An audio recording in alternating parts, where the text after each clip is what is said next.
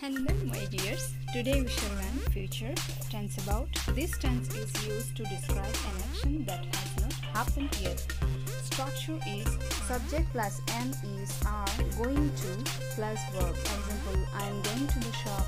Mina is going to buy some clothes. Structure 2 you see subject plus am is are plus verb ing. Example, we are having lunch at the restaurant starting my YouTube channel next week.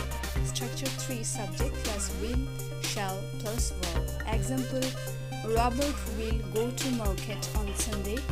I shall ask my friend to help me with my content tomorrow. Now future perfect tense. This comes on actions that will be completed before a specific time. Structure subject plus will have plus verb past participle.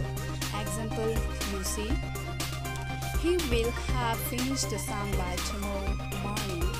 They will have arrived in India by now. Okay? Now, next is future continuous tense. This tense is used to describe an action that will occur and will continue for a set period of time in the future.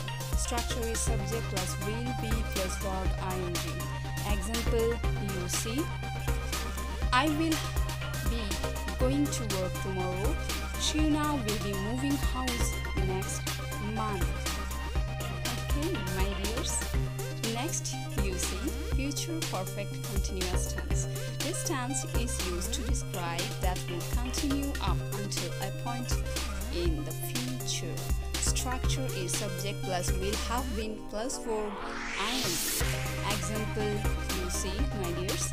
I will have been cleaning the house for three hours when she arrives home. That's all for today. Thank you, my dears.